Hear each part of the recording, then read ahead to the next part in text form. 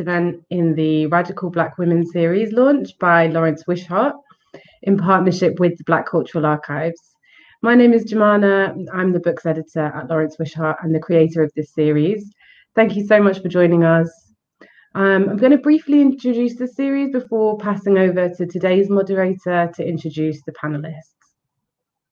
The Radical Black Women series is a new book series that seeks to spotlight the contributions of Black women to social justice movements in Britain. And it was born out of a, de a desire to redress, if only in a really small way, the lack of resources on Black British history in general that were available and Black women's history in particular. The first book in that series is a new edition of Claudia Jones, A Life in Exile by Marika Sherwood, with a new preface by Black feminist researcher Lola Olufemi. We're offering attendees of this event 25% off the book with the discount code Claudia Launch Event, and that's valid up until the 10th of October.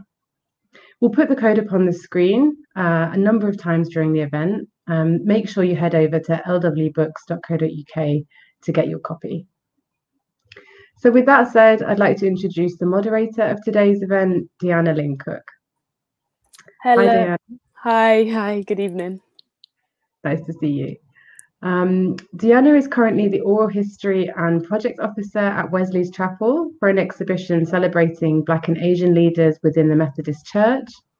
She completed a master's at the University of Birmingham, focusing on the histories of Caribbean women in Britain, and an undergraduate degree in history and English literature at Queen Mary University.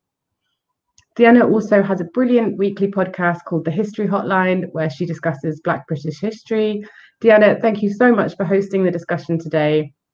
I'm going to leave you to introduce our speakers. Thank you so much, Jemana, and good evening, everyone. Thank you so much for joining us here on the launch of the Radical Black Women series. Um, and Lawrence Wishart are hosting these three launch events together with the pub um, publishing partners uh, from the Black Cultural Archives. And today's panel, Black History Matters, we will be exploring the importance of Black British history, but also acknowledging its complexities in conducting research, as well as writing it, promoting it, and sharing it with a wider public audience. And before I announce, you know, all the fantastic panelists today, a bit of housekeeping for you. Um, so we will be monitoring um, the chat for any questions or comments, so please feel free to send those in as the talks progress and make a contribution at any point. We will reserve a section of time at the end for all your uh, questions um, and for the panelists to answer. Uh, live captioning is available. It's automated, so there might be errors, and the conversation is being recorded, and a transcript will be made available at a later date. I believe it's being streamed on the Black Cultural Archives YouTube channel. And now to introduce the fantastic panel. I'm truly honoured, really, to introduce them tonight. I'm more than excited to hear what they will have to say on the opening night of the Radical Black Women launch. So, firstly, I'm joined by Marika Sherwood. Marika is the author of Claudia Jones, A Life in Exile, which was republished earlier this month, and also a number of other titles on topics such as Pan Africanism, Pan African history, and Black history more widely, including texts such as After Abolition, Britain and Slave Traders since 1807, and my personal favourite, Many Struggles, West Indian Workers and Service Personnel in Britain, 1939 to 1945. Marika was one of the founding members of the Black and Asian um, Studies Association, and we are very thankful to have her here today. Welcome, Marika Sherwood. Thank you very much indeed. It's a great pleasure to be here. Thank, you. you. Thanks for being here. And our second panelist is Claudia Tomlinson. Welcome, Claudia. Claudia um, is a doctoral candidate at the University of Chichester, whose thesis is entitled Journey from Communism in British Guiana to sorry, in British Guiana to Black Radicalism in the Global no North, a political biography of Jessica Huntley, 1927 to 2013. Um, Claudia also contributes to the Black History Matters publication and conferences. Claudia, welcome to the panel tonight. Thank you, Deanna. Very happy to be here. Thank Wonderful. you. Wonderful. Thank you. And our third panelist is Tion Paris from the Young Historians Project. Welcome, Tion. Tion is a PhD student at the University of Hertfordshire and a senior researcher with the Young Historians Project. In both roles, um, she's interested in the interpersonal and intergenerational transfer of knowledge and history, Her current PhD research covers US history and the connections between Black radical women of the early 20th century and the Black Power movement in the latter half of the 20th century. So, welcome, Tion. Thank you. Thanks. Wonderful. So, thank you all for joining me on this panel today. I am sure we are about to engage in some really insightful and inspiring conversations about Black British history, radical Black women, and you know why Black history matters so much. So, for our opening questions, Marika, I'm coming to you first, if you don't mind. So, for people watching, you know, we are here for the the relaunch of of the your book about Claudia Jones. For those who haven't read the book yet or don't know much about Claudia Jones, Please, could you briefly tell us about her and, and what the book is about? Well, Claudia Jones um, was born in Trinidad. Um, her parents had emigrated to the USA. She joined them. She lived for a long time in the USA. Um, was a member of the Communist Party there.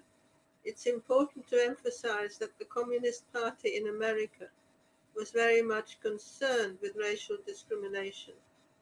The Communist Party in the UK was not at all. Um, anyway, Claudia became a very, very senior person within the Communist Party in the USA. So it's hardly surprising that she ended up in jail. um, and America wanted to deport her, of course, um, back to Trinidad because she didn't have US citizenship And the Trinidad governor was absolutely horrified and said, I can't possibly have Claudia here. um, so she was brought over here to the UK and she lived the last years of her life here. Now, of course, she was very surprised that the Communist Party here had no interest in her whatsoever. So she had to begin doing what she had been doing in the USA, but by herself.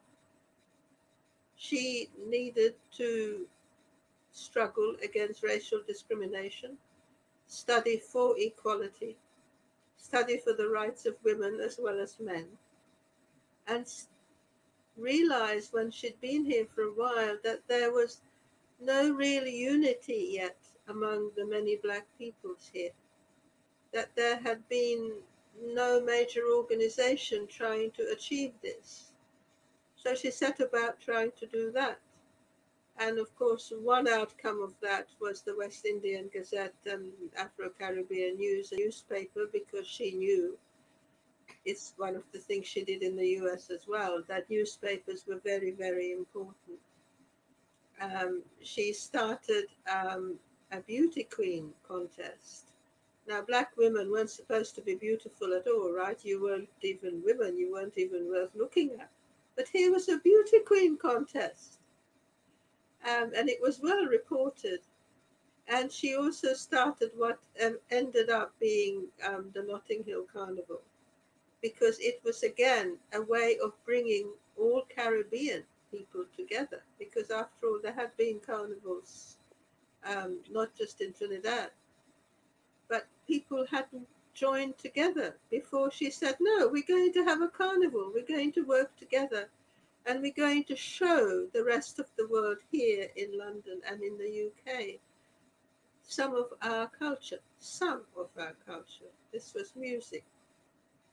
Um, so that's what Claudia was. Um, worked all over the UK, meeting people, telling them to organize, telling them to get together, saying that it was only when we were working together that we had some chance achieving equality in this country, which has such an appalling level of racial discrimination. Now, before I say anything else about Claudia, I must say that um, one of the people who worked with her was Amy Ashwood Garvey, um, the first wife of Marcus Garvey, who was also living in Britain on and off most of her life. And um, somebody's now trying to do some research on Amy. So if anybody have any information, could you please let me know and I will pass it on to the person doing the research. And there is, I think, something very important to say about researching Black activists in this country. The government has withheld all files on them. And I think this is a way of wiping out that history. There were no black activists because there's nothing to be active about, right? Everything here was fine. So if you go to our National Archives and look for the undoubted daily surveillance files on Claudia, they're not there. They're not there on Amy. They're not there on anybody, just about anybody. And I think we should start, or you should start. I can't. I'm, I'm too old and I don't live in London anymore, so I don't have daily contact with people. But I think we need a massive campaign for all the files um, on black activists to be found and released. They existed, had existed here for a long time. But you go to the National Archives and you don't exist. So you, Diane, Claudia, all of you here with a black face don't exist. As a Hungarian, I don't exist either. I, I must tell you, I have tried to ask um, for files on me. And I was told, why do you think there would be files on you? And I said, well, because the books that I was writing, the research I was doing, were an enormous threat to the government. I was stopped teaching, for example, stopped teaching at any level anywhere.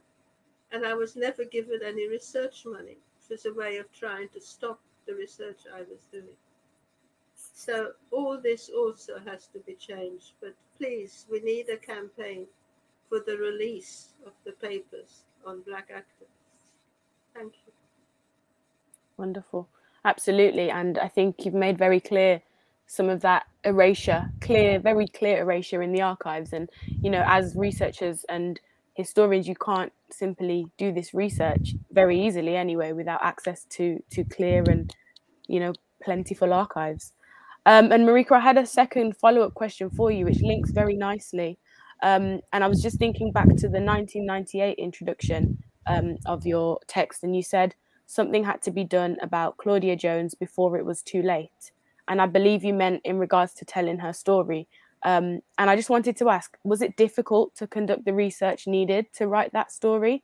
Or, you know, because that generation of people that might have known her were getting older and potentially passing away? Or were there bigger challenges? I mean, you've mentioned the fact that the archives, you know, didn't have anything on her. So, yeah, what were what were those challenges well, in writing that, that history? Challenge was enormous, but I mean, what began to worry me was that the elders that I had met in the black communities um, were as old as I am now and were beginning to die. So I thought, given that there are no archives on Claudia, and that even the materials, so I discovered that were left in her flat when she died, in her room when she died, were missing. The only way forward was, in fact, to ask people who remembered her to talk about her. Now, of course, what I can never tell is what on earth does it feel like if you're a Barbadian or a Jamaican or a Trinidadian and this Hungarian woman comes to talk to you about a black woman. You know, how do you feel about it? Um, I know, or in my experience, when I could say, well, yes, I have been to Jamaica, no, not on holidays, but to search your archives, and I've met many people, And that changed people's attitudes a bit. You know, there was more of a relaxation. But I would guess that um, some of what I was told was because I was a white woman. And I had to be made to understand things that that were not part of my experience. You know, I have not been racially abused. Well, I I should add to that that at one level I was. I come from a Jewish family in Budapest, and um, when the Nazis moved in, um, we had to wear a Star of David on our clothes whenever we were in the street because you couldn't tell a Jewish Hungarian from a Christian Hungarian. We all looked the same. And I would guess that because the Nazis were all over the streets, Hungarians now felt obliged to name call us or to spit at us. So I had some experience of that, but very, very little. And of course, after the war, it all went. I might have been a refugee. I couldn't speak any English when we emigrated to Australia, but you know, I didn't go through what you with dark faces go through probably every day. And that does, I'm sure, make a difference when you are talking to me and you wonder how much I understand inside me, not just in my head, but in my heart, you know. And and I, I of course I, I don't know how much I don't understand. Thank you. No worries, absolutely. And I think that speaks to quite an important aspect of research and the role of the researcher in doing this research. And if you are coming from outside of a community or writing about how, you know, how do you approach that? And as you said, there were probably challenges with that and in terms of understanding, but the book, I think, you know, using um, a method such as oral history and actually speaking to people is probably the best way to overcome a struggle such as that. And Marika, I'm going to give you a little rest um, and we're going to move over to Claudia Tomlinson now. Claudia, your research is about also another trailblazing woman um, in Black British history. So, for anyone that doesn't know um, the name Jessica Huntley, please could you tell us about her and a little bit about the Huntley archives, um, please? Yes. So Jessica Huntley, she was an um, incredible Black woman activist um, who led a um, a radical life of activism throughout her entire adult life. She was born in 1927 um, in Guyana, which was part of the British colony at the time, um, known as British Guiana. And um, she grew up in quite significant poverty in the 30s and 40s. And uh, I think it's important to remember that uh, colonial nations, their economies were tethered to the um, colonial powers and um, they suffered significant economic distress, um, more significantly than the colonial powers. Um, so she grew up as part of a, a strong African descended family, um, female household um, following the, the early death of her father.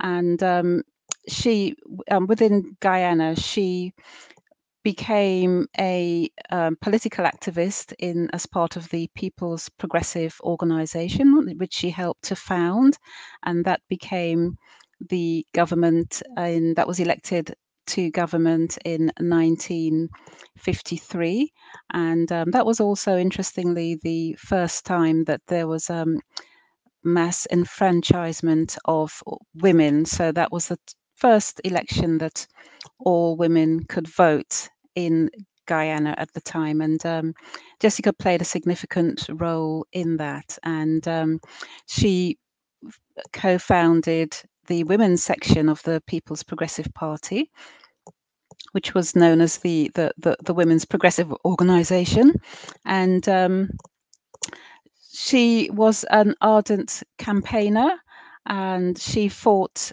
very strongly against um, colonial domination um, and fought for the rights of workers also um, within within British Guiana. She migrated in um, 1957. She had already married Eric Huntley, a fellow uh, PPP, People's Progressive Party activist and official. And um, by the time she emigrated, she was already a, a mother of two young children um, who were left behind in the Caribbean. She lived the remainder of her life in Britain, um, and she she died in 2013. And um, during that that period of time, she became a um, leading Caribbean radical um, fighting to reform um, the the position um, of the very strong anti-blackness culture that existed um, in Britain, and she was um, very much part of um, a, a, number of important movements. Um, so the West Indian Standing Conference, um, the student movement, student activism movement. Although she wasn't a student, she was part of that West Indian, emerging West Indianism in London.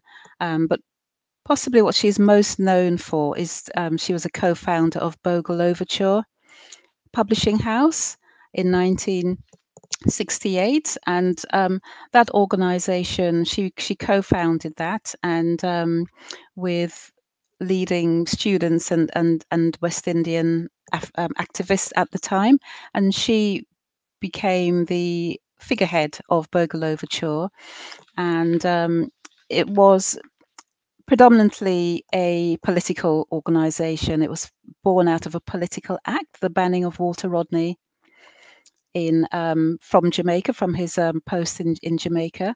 Although, um, and, but there have been signs that she she had been involved in publishing and um, printing when she was in Guyana. So she, those propensities were there.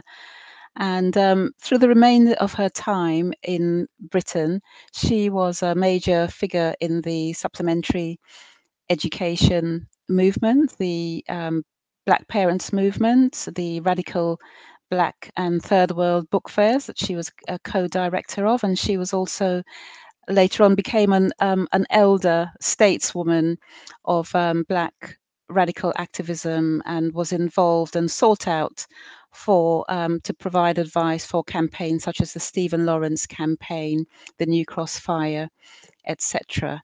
And um, the the family home, 141 Coldershaw Road in Ealing, now has a um, a blue plaque, and um, the the home has been recognised and identified as one of the leading centres of radical black act activism and organising um, throughout the well, from from um, the the 1970s onwards.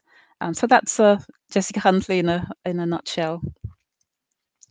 And, Fantastic. Uh, did you ask me about the archives?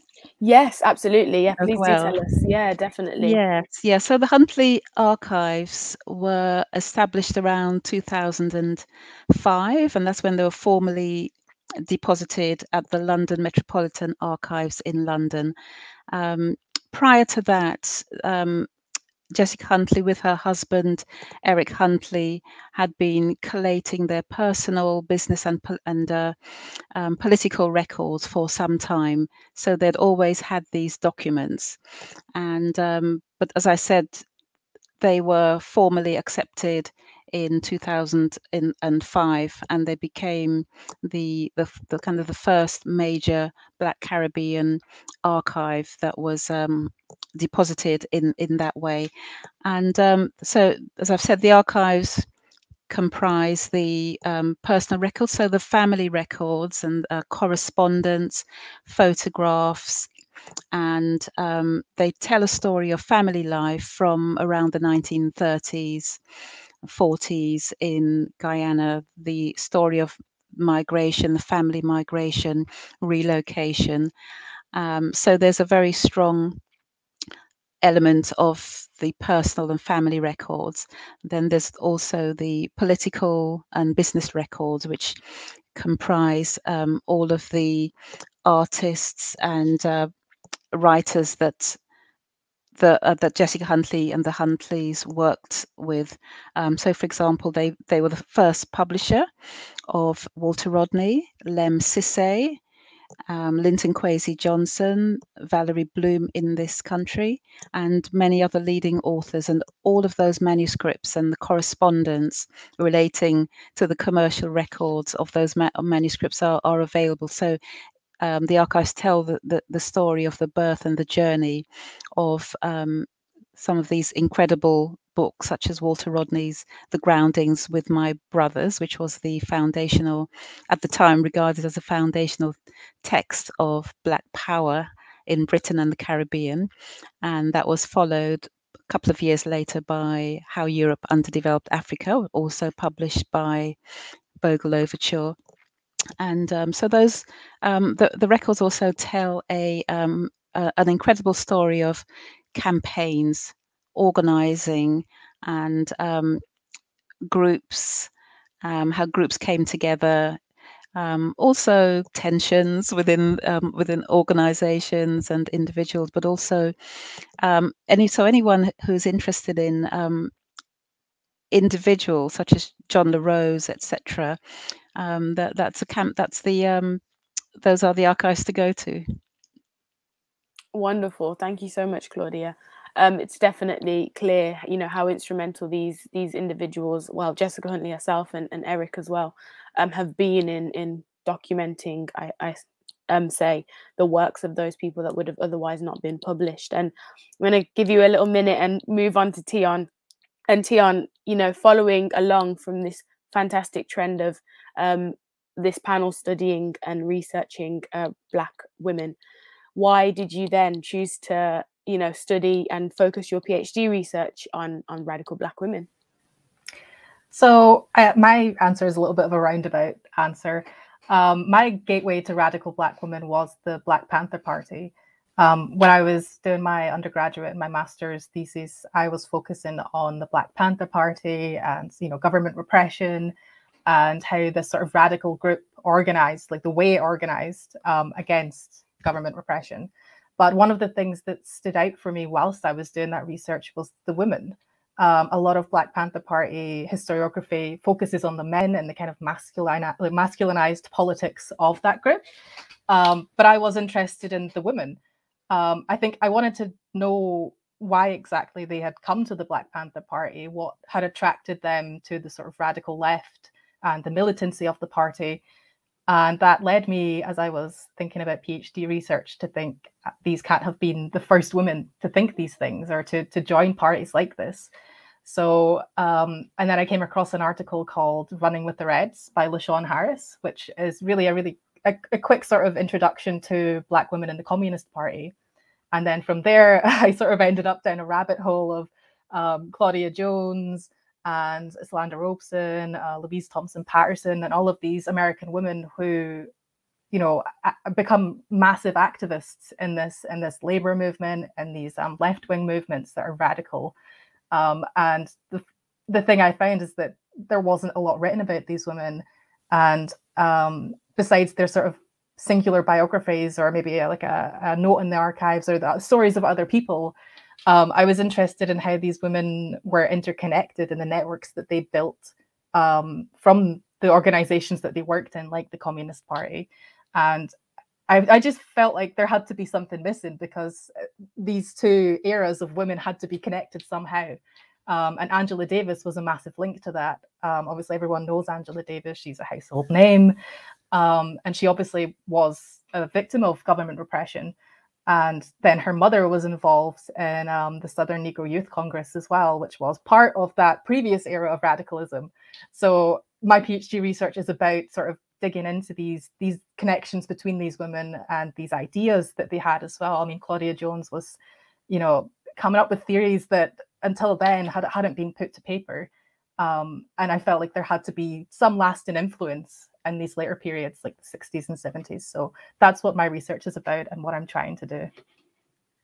Wonderful. It yeah, it sounds like a challenge on your part to but linking those two generations, I think it's so important to, you know, understand the links of these these histories and especially of women when, you know, there is such a an absence, I'd say, in the in the books and in the archives. And Claudia, I wanted to go back to you and ask you um about, you know, why you wanted to focus your research on Jessica Huntley. Um, you know, was there anything in particular about her or was it the absence of her, you know, as Tion mentioned Angela Davis is a household name, and there are other women that are becoming that as well. But Jessica Huntley, unfortunately, not so much. Was there anything that drew you to her?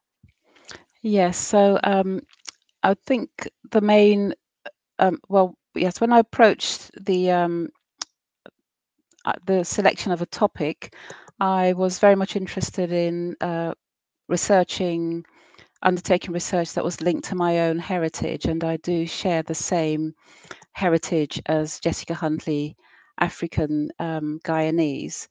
And um, I also wanted to consider the links with, with, with Britain, and I wanted to um, to have an opportunity to build that history. So um, I'm sure everyone's familiar with the expression history from below. So I wanted to undertake um, a historical study um, of subjects or an individual who I felt um, had been neglected.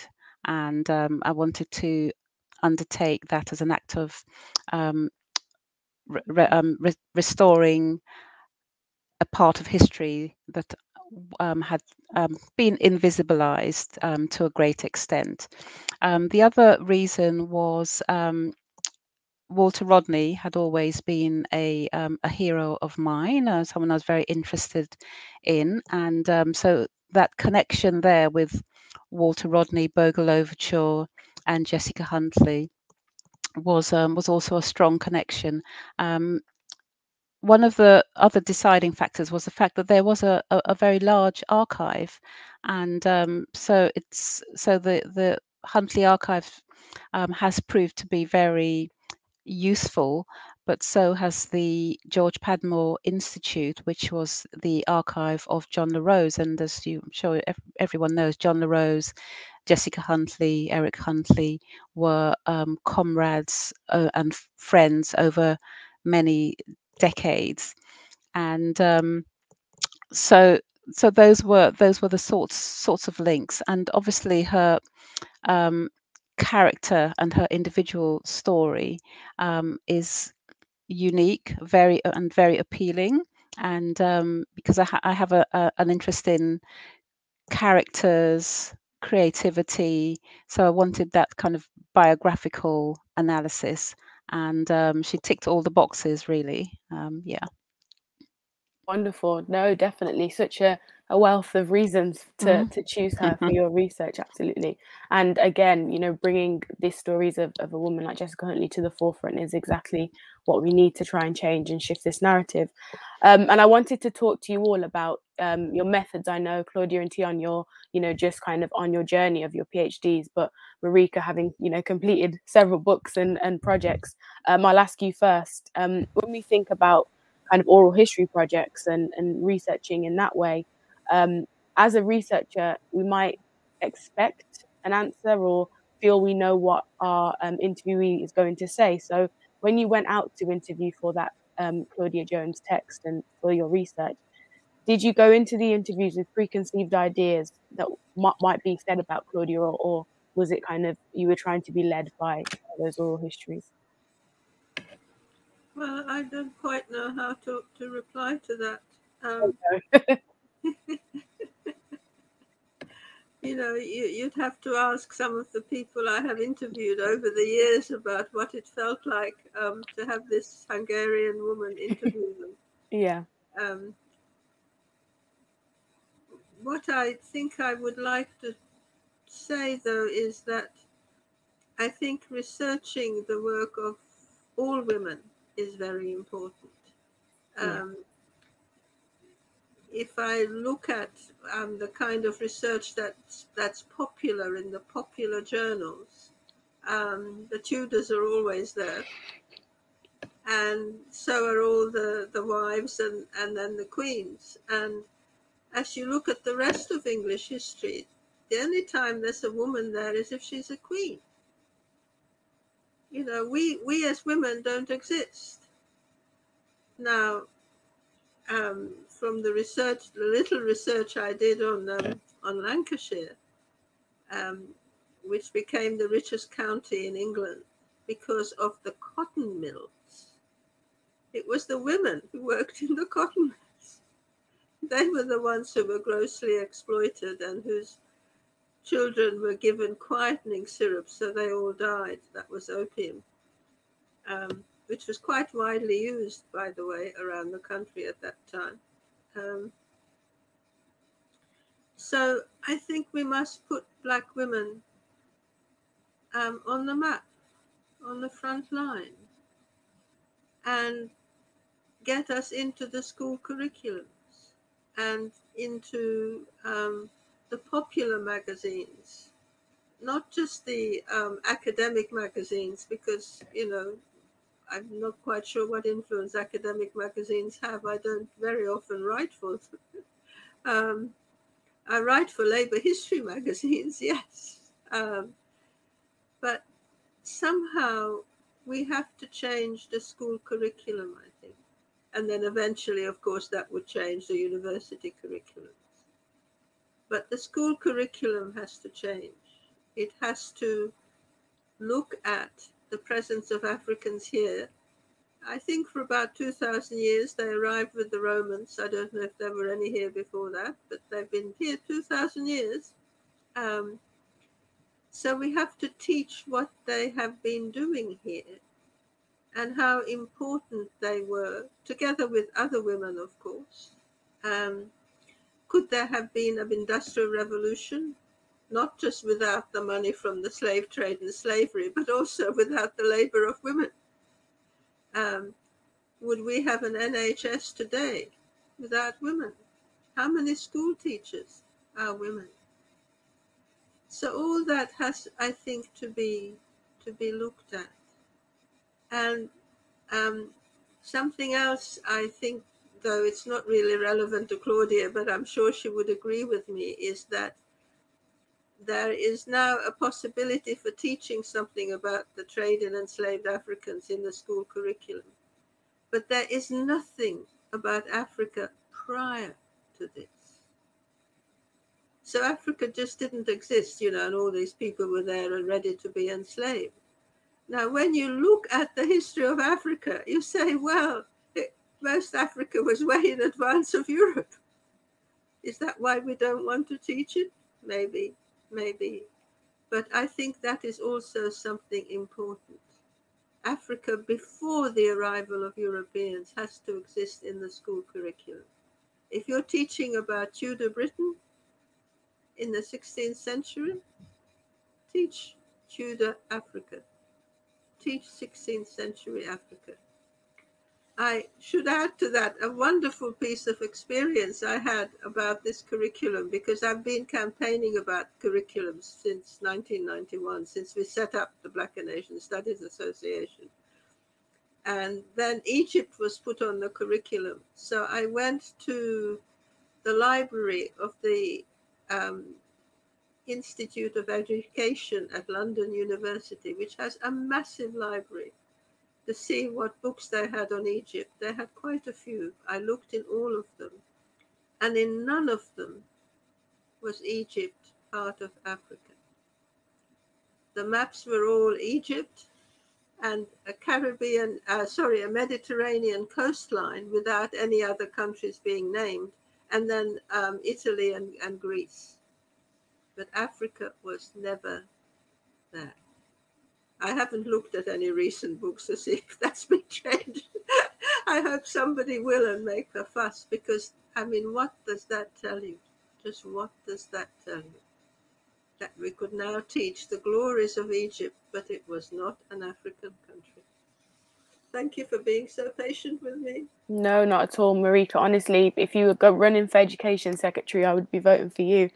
Um, these curriculum changes are, I think, something especially, um, you know, going through the education system, you know, in this country, it's something that is diabolically, desperately needed. Um, and you mentioned also um, points about the NHS um, being, you know, populated by women workers. And I just wanted to jump to Tion because the Young Historians project was about African women in the health service. And um, Tion, I, I believe you've just you've recently joined, but you worked on that project. And um, you know, how has that kind of helped you in the Young Historians project? Helped you um, to kind of shape your perception of studying and sharing Black history? And you might want to talk about the African and Women in Healthcare project if you would like.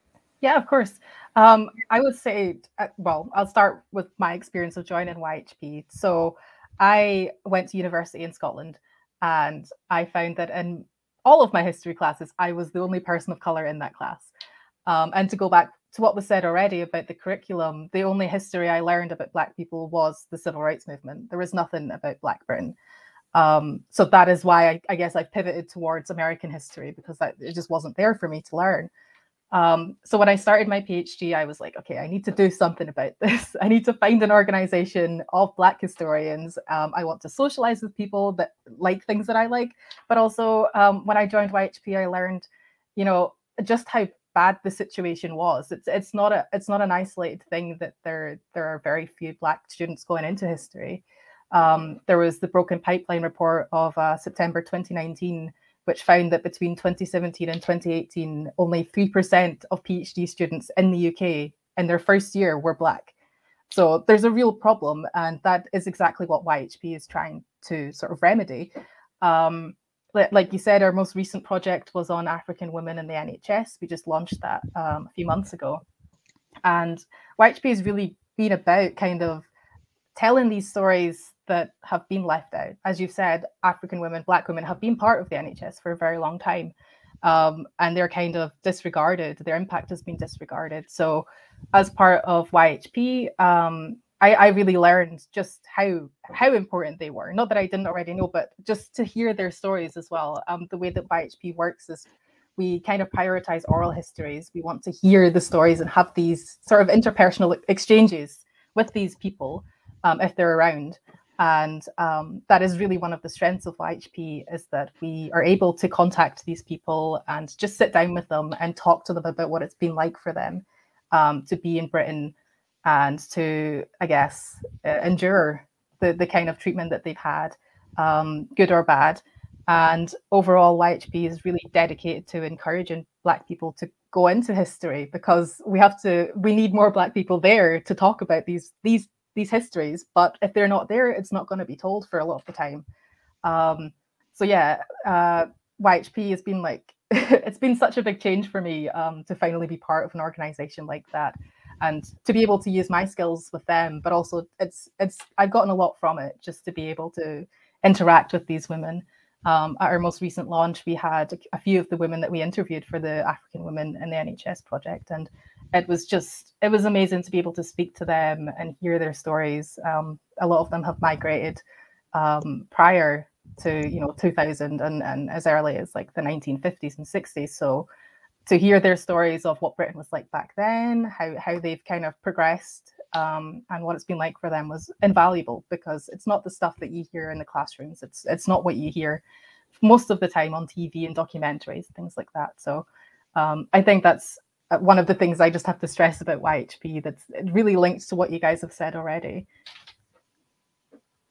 Absolutely, definitely, um, and it's obviously important that you know that work is is being done. Um, and I just wanted you to, if you don't mind, adding a final point about how important oral histories have been. You kind of touched on it um, in terms of researching um, Black histories, but maybe in comparison to archival research, you know, how has has that been? Which has been? Do you prefer one method over another, or is one, you know, more beneficial to the type of work you do?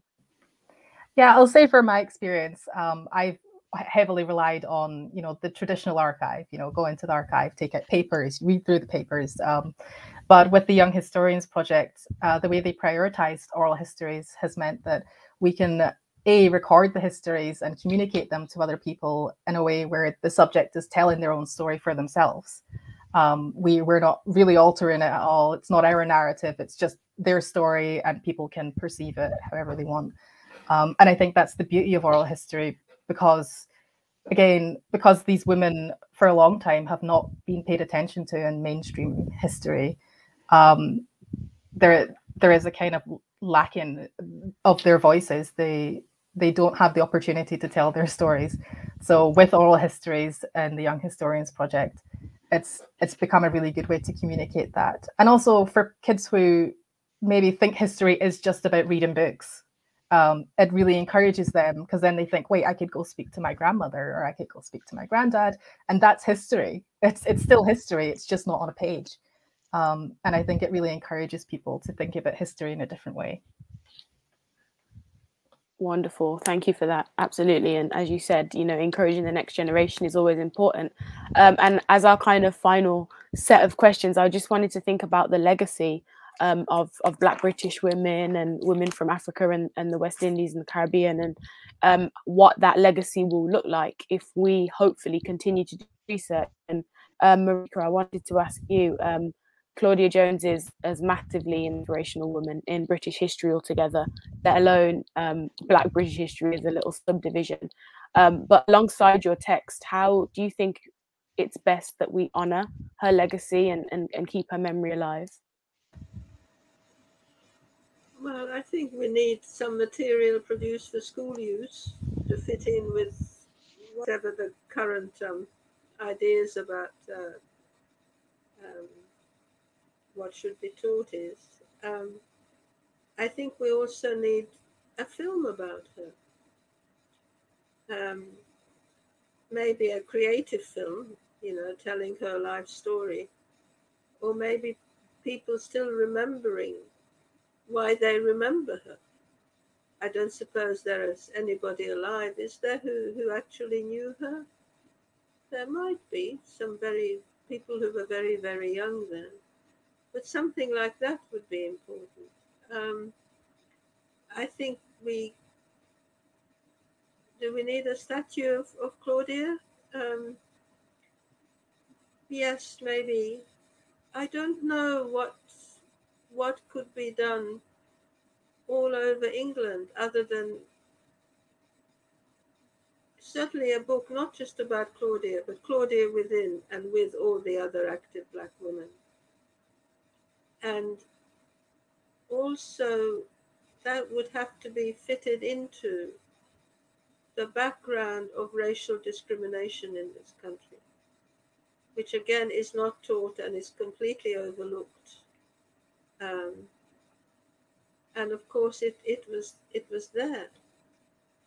So maybe um, some people should be interviewed and filmed about their experience of that over the many years they have lived here or maybe from when they arrived here and, and what it was like when they when they arrived so that you know the um, the windrush generation um, is still with us so they could talk about what it, it was like because most people don't want to know um, and they must know because they are part of it um, I think another way of bringing some of this home would be to follow up on the compensation records um, which have been released. The people who've uh, given that mere 20 million pounds for the loss of their free labour. But there's been almost no research on what people did with that 20 million when they got it how much of the Industrial Revolution was funded by it the roads, the railways, the canals, the factories, how many of the mansions were built by them. So I think that would also bring home some part of the history that is ignored. And that is really the background for Claudia and all the other women and their struggles. And it has to be our, our struggles today. Um, I should tell you, by the way, about all the, um, given that we're talking about hidden records, um, I tried to discover why on earth the Rothschilds um, gave or loaned this money to the government. There's nothing in our national archives. So I went to the Rothschild archives. There's a huge Rothschild archives in London.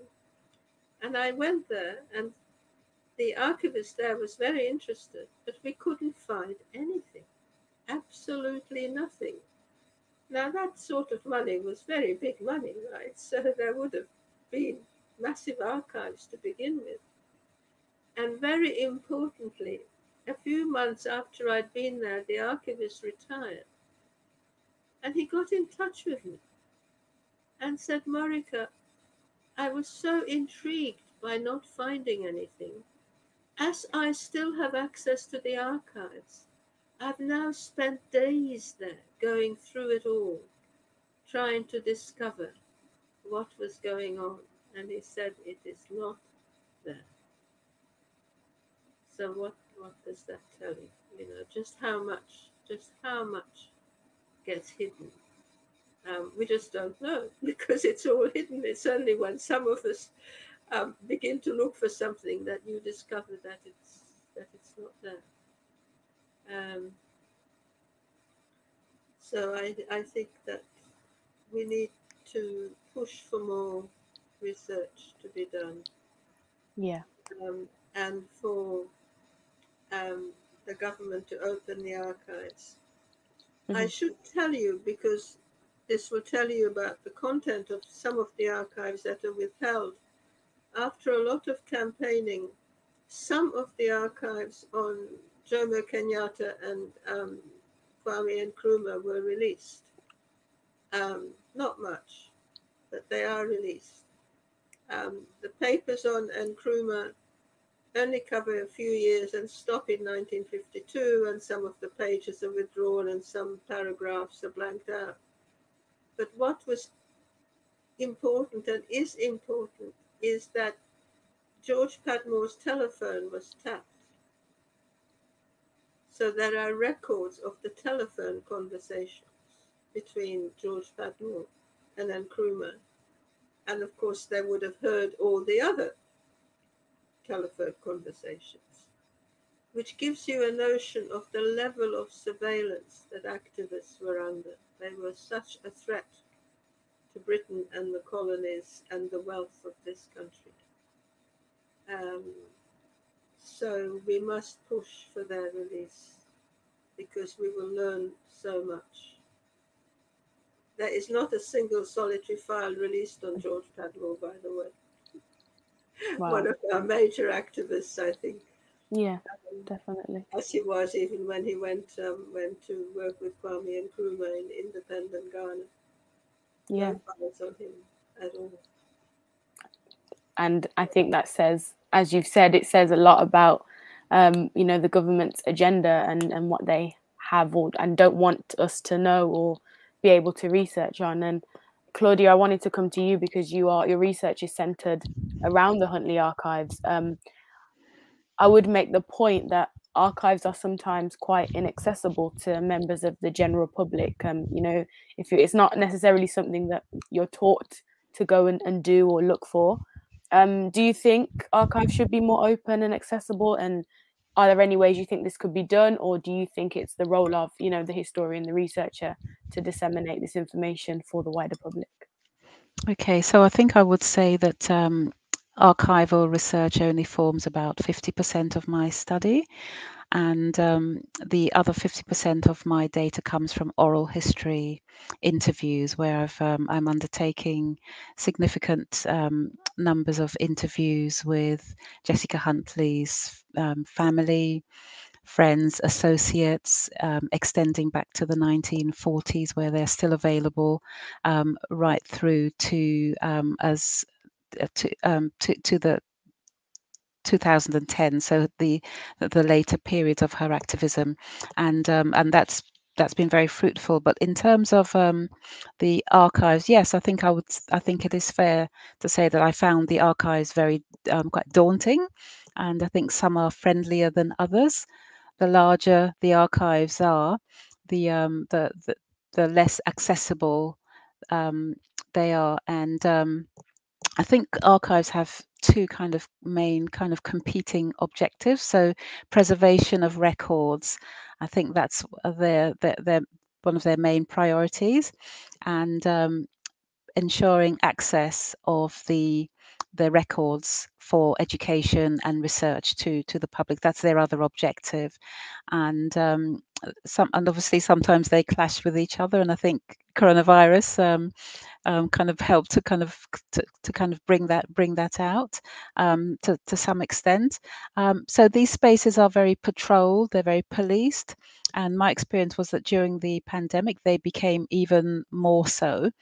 And um, so um, the Huntley archives, I would say, would, was um, were designed with um, accessibility in mind, and um, there are a number of um, steps that uh, Jessica and Eric Huntley took to ensure accessibility. So there's an annual Huntley conference, and um, there are school projects where the um, archival material are kind of taken out and liberated from the archive and uh, made available to ordinary people because the archives can be daunting. There are on, online um, events where, um, particularly sound archives, um, are um, are featured. So I think there is yeah there, there is scope for taking the archives um, archival material outside of the archives, and should continue to do that as much as possible. Absolutely. And I do, yes, the Huntley Archives, I think are doing a fantastic job. I've been to, I think the last one before the pandemic um, uh, for the day and, you know, you go around and they teach you how to look through and, and it is, it is a wonderful day, definitely. Um, and kind of coming to the final questions and to the audience, thank you so much for listening um, so far, so patiently. And I'm, I'm seeing some questions coming in, but please feel free to ask away any questions for any of our panelists um, that you might be thinking. Um, they are coming in slowly, but I'll keep um, at my questions until um, they do fill up. So, um, Tian, I did wonder. Um, you've worked with the Young Historians Project, and I'm sure you know on your own maybe social media platforms. Um, you've probably been able to use a range of mediums to kind of disseminate this information podcasts documentaries articles you know papers you name it um, how would you like to see black women uh, documented going forwards um, are any of these your preference or are there you know new and innovative ways we could be we could be looking at? Yeah i i i think YHP um, does a really good job of kind of firing on all cylinders. Um, we've got such a range of different ways that you can consume the history um, which as someone who's come from academia and is in academia it can be really limited. It's really just you know you got to write something maybe you'll talk about the thing um, but for the most part i i have found for my own personal sort of um, the things that I liked about research so far is oral histories. Um, for my own research, it's kind of difficult to do that because a lot of the women that I look at um, have either passed away or they're very, very elderly and they're in the US. So it can be really difficult to sort of navigate these stories. Um, but I think for for the sake of the Young Historians Project, uh, I think we will continue to sort of um, use a range of media and materials um, to sort of make these histories accessible as well, which is um, something that I, I, often think about in my own research is, is, is this accessible? Will someone who doesn't know anything about this subject be interested in the way that I've communicated this? And I think the Young Histor- sorry, the Young Historians Project is uh, really important um, in, in the way that they they have chosen a lot of different ways um, to do that. And again, for as as Marika has said already, movies we need them. we need we need other ways to consume our histories and to obviously communicate our histories as well to other people. Um, and I think as well for you, Deanna, your your podcast as well is is amazing. It's so accessible, and obviously kids kids can find that easily. It's not really daunting to start, and I think that's a really important thing going forward as historians is to consider is this going to reach the masses? Like we we need to think of ways to communicate our own histories um, in ways that are accessible to everyone. Absolutely, um, I think that's definitely the case, and and as we've mentioned, of so many ways of this, these histories being, you know, more accessible. Um, and Claudia, I just wondered, you know, you're working within um, academia and a higher education institution, as you are, Tian, as well, um, and you know, there is an issue at the moment with, uh, you know, Black PhD students being funded for their research and, and being able to to start on these, um, you know, programs in order to, to create this knowledge. Um, what have been maybe your your biggest challenges with research so far, if you've had any, um, or if you'd like to speak on that, you know, funding and matters of that? Yes, so um, I'm I'm self-funding, so um, that isn't something that's really um, affected me. But I am aware that um, there have been um, increasing numbers of um, PhD students working in this area who have secured funding. So I don't know the the overall statistical position, but it does appear to be improving. And um, in terms of working in academia generally, I do think that um, it's a huge challenge, and um, there are, and that challenge is becoming even greater. Um, and my biggest challenge um, has been about um, the, the, the, the subject, the, the topic of Black history. As we know, it has really come under a lot of threat um, recently, and um, it's there's there's huge challenge to actually just do that work. I I don't know if anyone heard Boris Johnson's um, conference speech yesterday. I've got a little clip if I've got a, a, a minute to uh, just read that out. What he said about history, and he said that. Um, and we attack and deny our history at our peril. And when they began to attack Churchill as a racist, I was minded to ignore them. That's that's, that's Boris Johnson, and um, it's only ten years ago. BBC audiences overwhelmingly voted him the greatest Briton of all time because he helped defeat a regime um, that was defined by one of the most vicious racisms the world has ever seen. They really do want to rewrite our national story, starting with Hereward the woke. And uh, the final sentence, um, he said that um, Boris Johnson said that we really are at the risk of a kind of know nothing cancel culture, um, know nothing iconoclasm, and we conservatives will defend our history and cultural in, um, inheritance, not because we are proud of everything, but because we are trying, um, they are trying to edit. Um, and I know it is now dishonest um, as a, as a, that's as dishonest as a celebrity trying to edit um, Wikipedia anyway.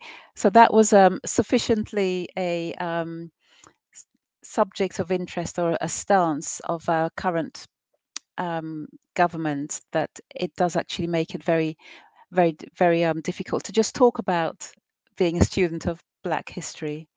Um, so that that I would say is my biggest challenge. Absolutely, thank you, and thank you for sharing that because you know the current climate which we all work in, passed down from the government and and the political you know sentiments that are going around are obviously going to have an impact on on society as a whole, let alone researchers. And Marika, um, I am told you might be departing, but before you go, I wanted wondered if I could ask one question from the comments that's directly for you, um, and that is, um, does Claudia Jones have any family members still alive um, that Marika could consult with? Um, I don't know if you would know that, or you know maybe assume if if there would, would be anybody around still. Marika, I think you're you're muted. Um, she oh. had no children. Um, and I don't remember if she had any brothers or sisters. I think not. No, I think she was an only child. Yeah, so there are no relatives. And as far as I know, there's nobody now doing any more research on her either. But that could be my, my ignorance. You know, I, I don't live in London anymore, which means that you're not in daily touch with everybody. Absolutely. I want to thank you all for being so very patient with me. It was our pleasure. I must tell you that I used to sit by Claudia's grave. I lived downhill, not in the Highgate area. I had no money, but it was within walking distance of her grave, and I used to go up there and, and sit by her to sort of take in her strength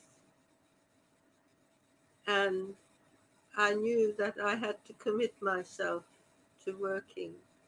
If she could work when she was ill all her life, and I was a very healthy woman, not wealthy, but healthy, then I had to tell her, and I did, that I would continue working until the day I dropped dead. And that's what I am trying to do. Thank you all for listening to me. Thank you so much, Marika to go on. No, thank you for joining us and your words of wisdom. We've got to, you know, interrogate these files in the archives to try and start a campaign. We're, we're campaigning about the curriculum. You've planted so many seeds for us to think about um, moving forward. So thank you so much, Marika. Thank you for being here thank tonight. You. We'll move forward. And thank, thank you. you. We will definitely. Thank you. Um, and now back to some of the other questions. What have we got here today? So um, we've got a question um, about oh we've got a nice question about films and documentaries um, from lou. Um, and that is about do you have any films that you'd suggest on these subjects? Um, i've seen a few that are more entertainment focused rather than history but i'd like to find more documentaries. Um, entertainment focused film and suggestions are welcome but i think we're looking for something more um, historically accurate maybe lou. So yeah tion or claudia whoever wants to go first um, I, I, would say for my work, that is kind of the problem is that there aren't really movies about these women um, that I'm looking at. Women like Claudia Jones, um, Eslanda Robeson, Louise Thompson Patterson. Um, but I would recommend um, there are a lot of sort of seminars just like this where you can see historians talk about the books that they've written. Um, you can search on YouTube. Um, I don't know. There's a whole world out there of uh, organizations and events like this who have, you know, had these conversations. It's just not obviously on the front page of the internet. So I recommend, um, yeah, use the internet. Yes, I would just um, recommend the um, the recent Steve McQueen BBC series, and um, what my critique there would be that um, many of those stories are perhaps not told from the perspective of many of the leading women, and they don't necessarily showcase um, some of the, the, the leading women who were involved in those histories. Those histories still are largely told um, as the histories of the male activists who were around at the time. Um, however, the the episode on education, looking at uh, supplementary education, um, then that does um, um, spotlight women, mothers, um, and that's that's something that's worth looking at. One, yeah, absolutely, definitely. And just to throw in a few of my own, um, there's a Netflix documentary. I'm not sure if Netflix created it called Journey um, from an or Journey to an African Colony, and it speaks about the history of Nigeria um, and pre-colonization and post and kind of that process. Uh, and there is a wonderful episode on on women and and their kind of activism during that time, which we rarely ever hear about. Um, I would say um, uh, there have been a few documentaries, and one thing I have noticed in the UK is when these documentaries are done, I don't think they're publicised very well. So sometimes you have to dig a little bit deeper um, than the ordinary Tudor documentary that seems to grace our screens a lot more often. Um, but an important point from Ria um, in the comments is I think films and docu series are an interesting topic because a lot of them are awesome. I think the industry owes it to us to not only create trauma based films, but ones that empower us too.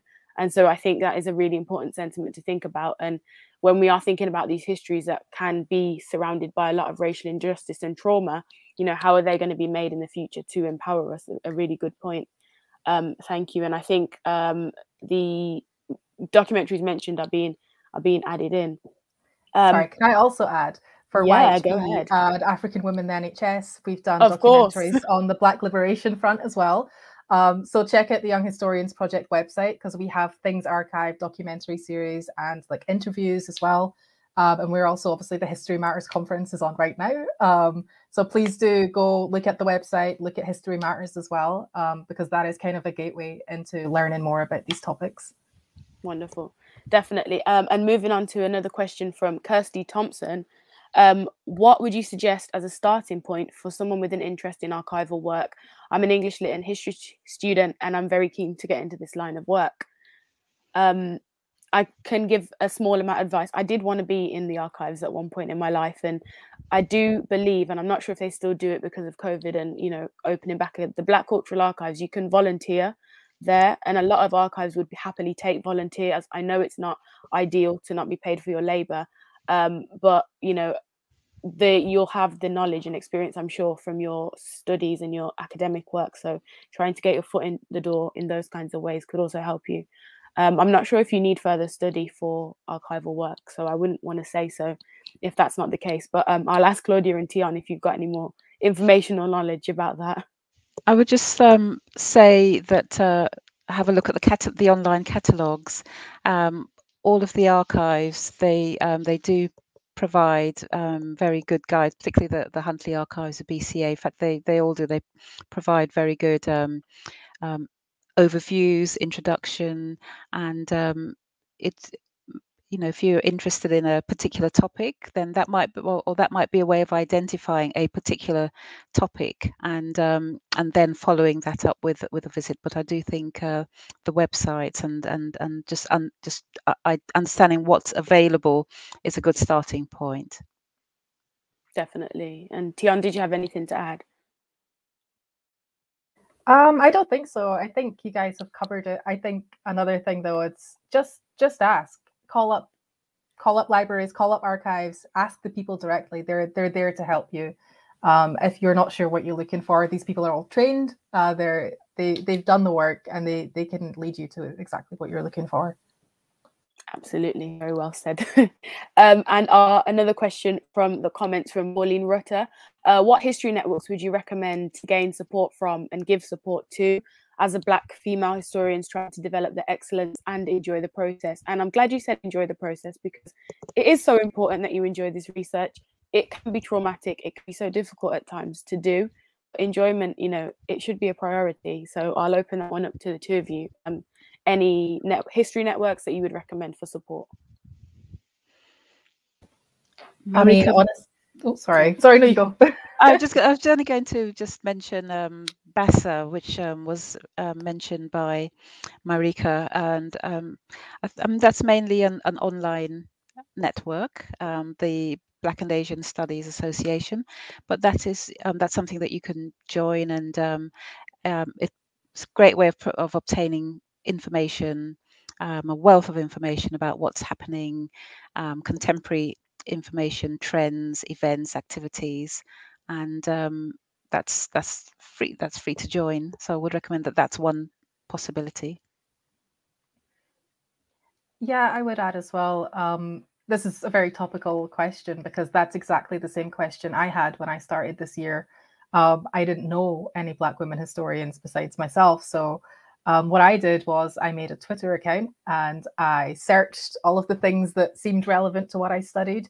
And I found women who maybe weren't even studying the same thing I was. Um, and I messaged them and I said, Hey, do you want to chat?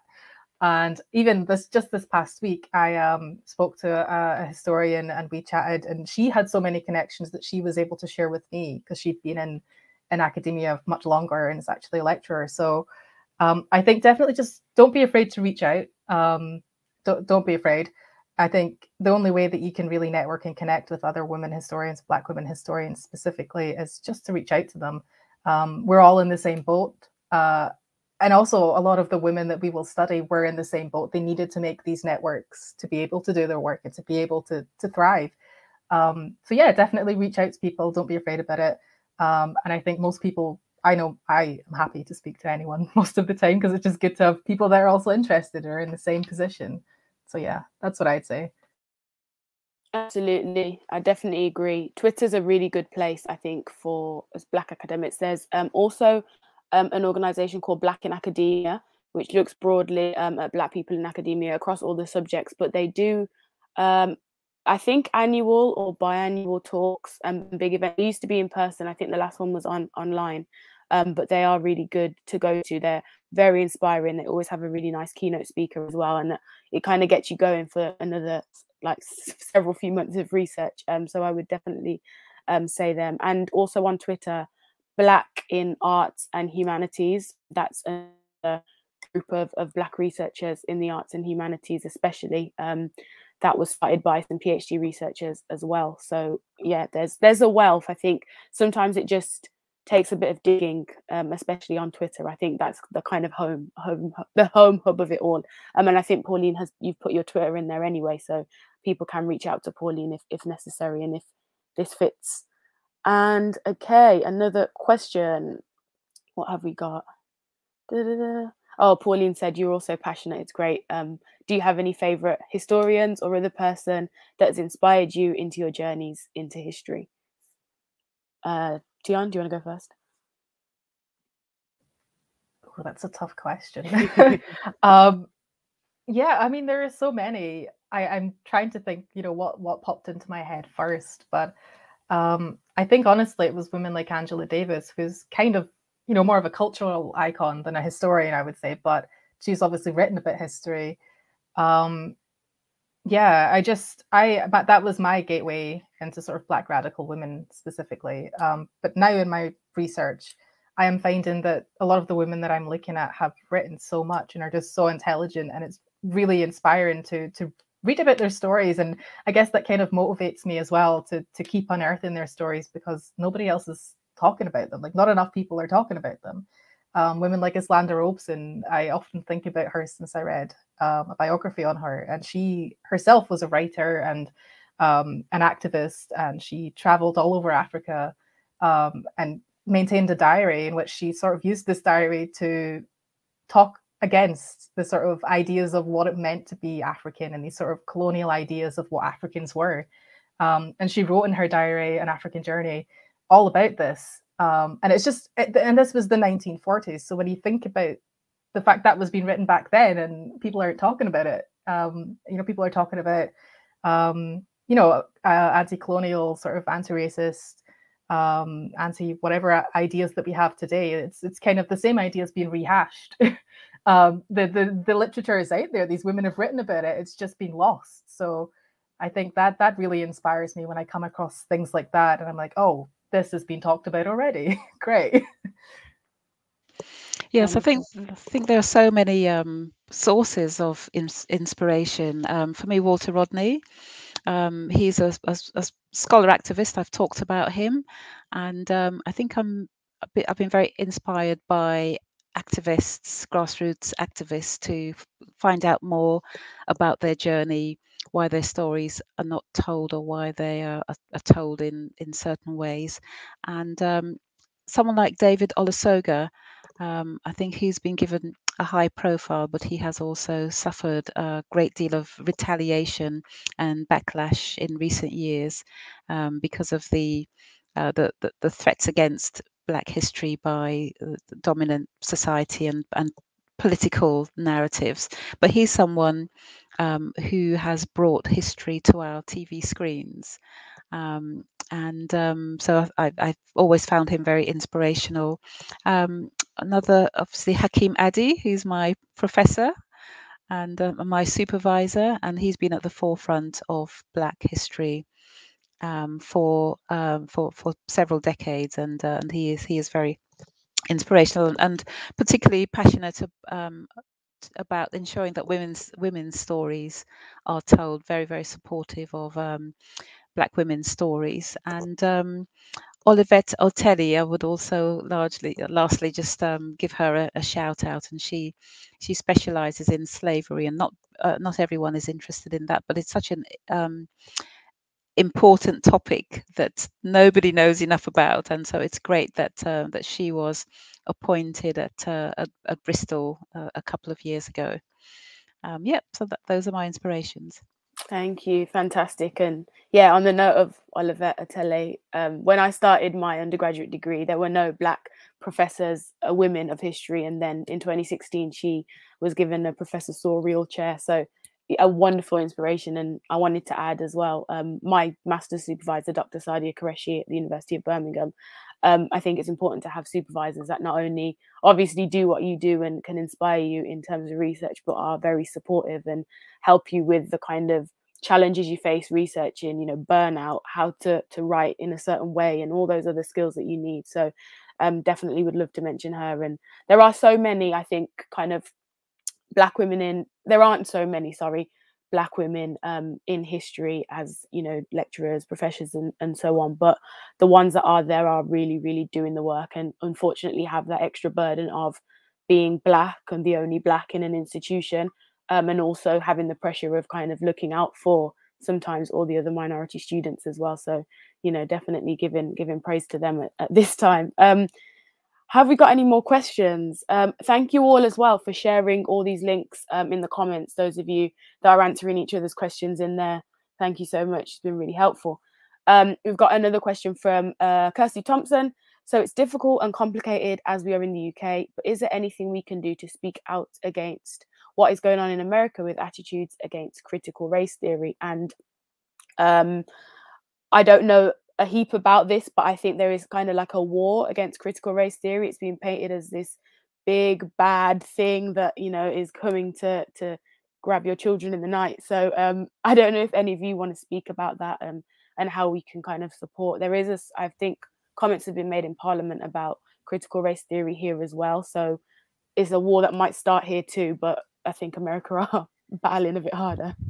Yeah, um, I I've actually written about this um, because it it partially um, sort of blends into my research um, as a historian.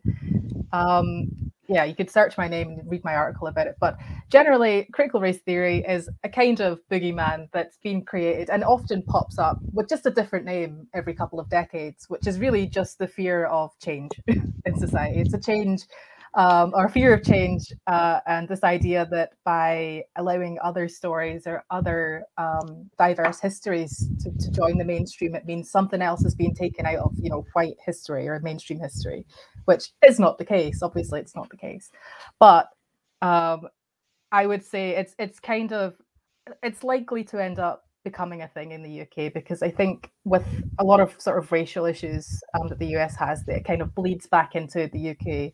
It just takes a bit longer to get here.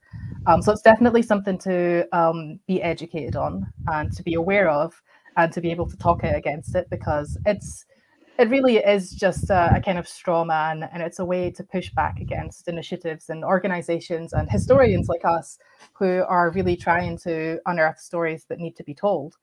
Um, so I would say, yeah, it, it is important. Um, definitely, you know, read up about it, but um, I guess try and try and just think of it as it's just backlash. It's it's not it's not real. Um, it's just propaganda. Yes, I would agree. I think um, there is um, some evidence of um, the a retaliation against um, critical race theory, and uh, the uh, the Conservative Party in particular have um, placed it at the centre of their um, their culture wars or their their their war on on um, any attempts to um, look at other subjects or broaden um, his subjects that are being looked at in terms of historical research. And Kemi Badenoch, um, in particular, um, when she was, I think she was Equalities Minister, I think she'd been promoted now, did some work for the Conservative Party um, around critical race theory and um, they focused on attempts essentially at outlawing it and um, and outlawing the teaching of critical race theory and using um, any concepts such as white fragility and seeking to strengthen narratives that overturn those um, those concepts. And um, yeah, so I think potentially it's set to grow um, in the UK as well. Absolutely. Um, and yeah, I think as well just to be that person that plugs their own work. But um, I did a reaction to Kemi Badenoch's speech in Parliament about critical race theory um, on the podcast. I broke down every single part of that speech because it was packed in with so many mis- misconceptions, inaccuracies. Um, and, you know, I think for the most part, anyone that's been to school in this country, I don't think anybody's ever sat down and had a lesson on critical race theory or been told if you are a black person, be a victim, or if you are a white person, you have privilege. So, you know, I don't really think it is, as you've said, it is a boogeyman that kind of comes out when we want to, the people that, you know, are in these positions of power want to, you know, kind of go back and go against what research is being done. Um, so definitely, um, something to think about and always be aware that this research does come with a backlash um, and there are a lot of people that don't want to necessarily see these things being done um, and you kind of have to to go with that now we've got a final question and it's a beautiful question. I'm, i love it.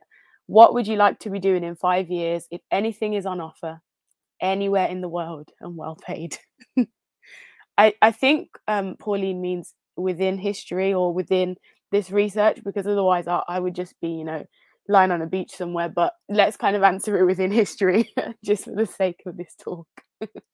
um, yeah, whoever wants to. Yeah, for me, I mean, I have, um, I'm probably halfway through my um, doctoral program. So in about 18 months or so, I'll, I'll should have finished. Um, 18, 20 months, all being well. So I have already started to think about what I would like to do. And um, I, I, would definitely like to focus more on research. There are so many individuals, women, men, um, who who we need to shine a, a, spotlight on. And as Marika was saying, there are so many different ways of of doing that. And um, creative writing is a particular interest of mine. So I would love to see um, drama, TV drama series, period drama about some of our um, fantastic heroes. So um, instead of endless programs such as Mr. Selfridge told from certain perspectives, why can't we have the um, dramatized stories of some of our amazing heroes, and I'd like to be part of that. Wonderful, and here's to that happening. Tian, do you want to go next? Mm, yeah, I'm I'm quite early in my PhD. I'm in my first sort of six seven months, so it's. I think if I'm truly honest, I didn't go into history for money. I never really expected that this will end up being a career that is super lucrative because even before I joined the field um, in my PhD, I was sort of told to think very carefully about whether I wanted to go into academia because it's very difficult and there are jobs very scarcely and you have to really, really, really want this. Um, so I think five years down the line, if I am comfortable, if I'm happy, um, I want to keep telling the kinds of stories that I that I'm trying to tell. Um, I think it's it's a passion that I have, and I, I I just hope that nothing sort of changes in that that regard. I want to keep being you know part of YHP. I want to keep working with other Black historians to you know give them a platform and to sort of inter have interconnections with them as well, and kind of grow the field of Black history in the UK wonderful and again i hope that all happens for you definitely. Um and i don't know if i don't really know what i want to be doing in five years. Um well probably hopefully still podcasting um i like the idea of bringing histories to you know a regular audience and also hopefully i will have started a phd and finished in five years maybe but we'll see. Um and yeah i think as tian said academia is it seems like a scary place um for the most part in terms of, of jobs and being a black woman in those spaces um, but you know as you said if anything is on offer i'll take a hot country um, and if it's well paid then yeah i'll take all the money too but um, it's definitely not a job you do for the money but um, some of the points marika made as well about the films being made about these women and um, into the curriculum as well i would love to see curriculum change. Um, I've worked with a lot of, of children through the podcast and, and past jobs I've had, and I think if they are, you know, educated and exposed to these histories young enough, they will make that change themselves in the future because it will be so instrumental to their lives and development. So that is something I'd, I'd like to see, not necessarily to do on my own. Um, I think it will take a village, but definitely we'd like to see those changes for the future. And unless Tian or Claudia have any more points, I think we are at that part of the night where it's time to wrap up and say goodbye to this wonderful space and this wonderful talk. Um, I would like to say thank you to our panelists, Marika, who isn't here, but thank you, Marika, Tian, um, and Claudia. Thank you so much for being here tonight, um, and also to Lawrence Wishart and to the Black Cultural Archives, um, their partners. Um, and remember the discount code Claudia Launch Event for 25% off that book get the book. Here we go. yeah, there we are. Um, and you can get that at lawrencewishartbooks.co.uk. Um, and unless there is anything else to add, I hope you all have a wonderful evening um, and stay very safe and, and keep going, keep fighting. And solidarity to you all. Thank you.